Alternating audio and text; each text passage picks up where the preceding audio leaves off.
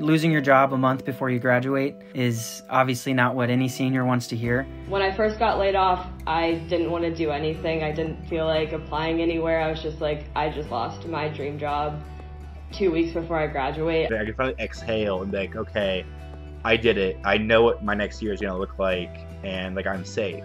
Um, and now I'm, I'm not safe at all. For the past three years in school, I kind of have been balancing school and work. And so I felt like when I had when I had that offer, I felt really happy. Like my hard work finally paid off.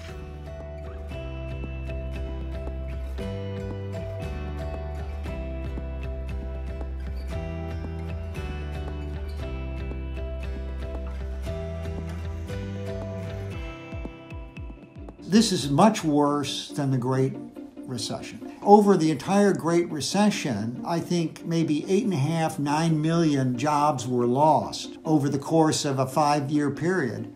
Between February and April, the United States lost 21 and a half million payroll jobs. And so now people graduating this spring are going to face the worst job market in the entire post depression history.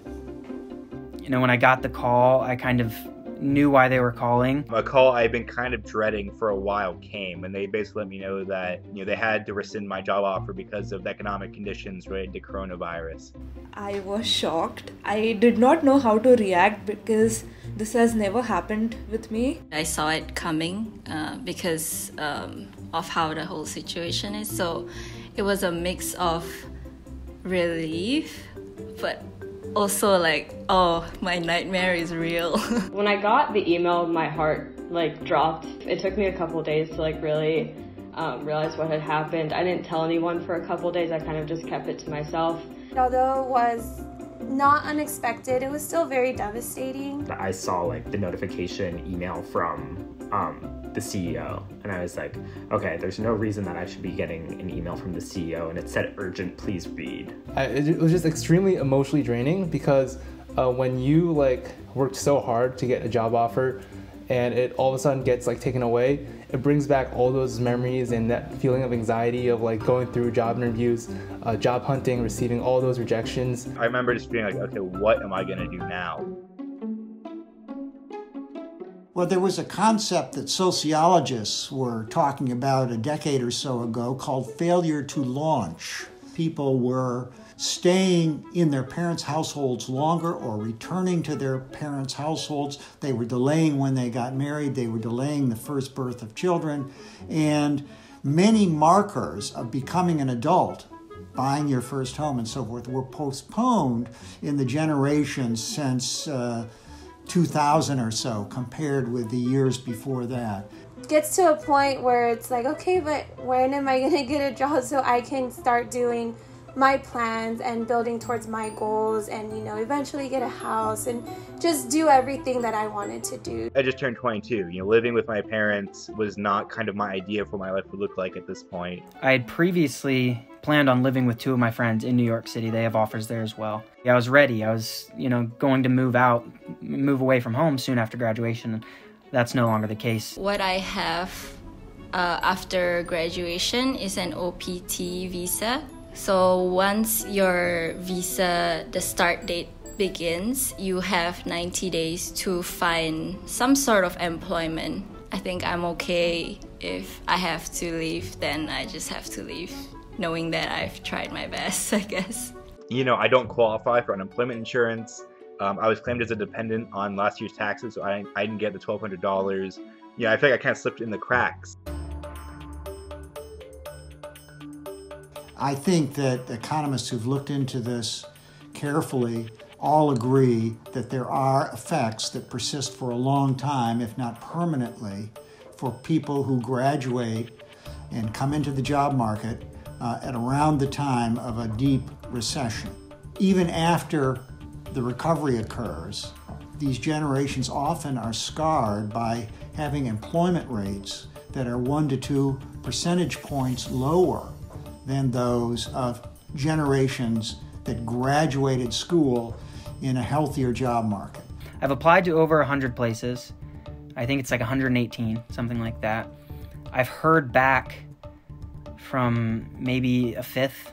I honestly did not count. Like I stopped counting because it got depressing. so I just feel like right now it's more of like survival mode. So not only am I competing with each person that's graduating this semester or recent graduates, but I'm also competing with other experienced individuals who have also lost their jobs. I've written so many cover letters, like I just spend so much time um, crafting these applications and sending them off and then getting no response. It's a constant like door after door is being shut in my face and it's just so hard to stay motivated during this. Being an international student, it's not just about finding a job.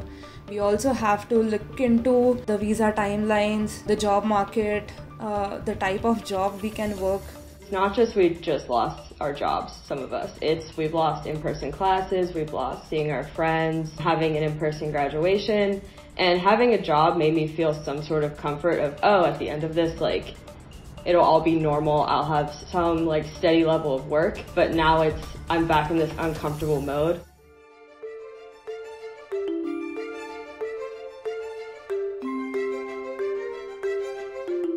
So I graduated in 2009 from the University of Oregon with a education degree and then a business uh, minor. I graduated from Carnegie Mellon University in 2009. I graduated from law school during 2009. I had zero job prospects. I had had about 10 campus interviews, never got called back for any of them, and had to move back home with my mom in Portland, Oregon. I didn't have a job when I graduated law school, and a, lot of my friends that had um, offers, they'd been revoked or they'd started. After graduating, you know, I still didn't have a job at, at graduation, so I think, like a lot of people, I moved into my parents' basement for a few months. I never felt like I had any choices. I was so desperate just to be able to, you know, take any legal job that paid rent. So graduating during the the last recession, I think, gave us all some skills that we wouldn't have otherwise had if we'd been graduating in the same economy as when we started law school. Be flexible and open minded so that you have opportunities that could lead to other opportunities down the road. I wish that I had been more specific with my skill set. So I was so general. I was always like, I have a good attitude, I'm a quick learner. I had all the buzzwords down, right? I wish I could have told myself,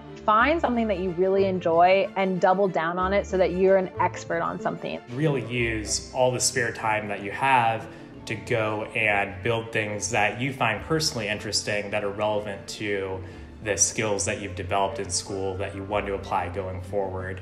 I think it's better to fall on your face right away than it is to do it, you know, five, ten years in. So with nothing on the table, now I can really consider what do I want to do? Why do I want to do it? And seek out those roles. One of my friends said, you know, this could be a blessing in disguise, and that's how I'm trying to look at it. We should definitely take this time to just reflect on ourselves and kind of take it as a little vacation time because once we start working, that's it. so, you know, short term, it's like, you know, get John a job, that would be great. But like on a much more real place, I'd like a better society that takes better care of its people. Focus on the things that you can control. So for me, I've been working out, just like lashing out all those things into working out.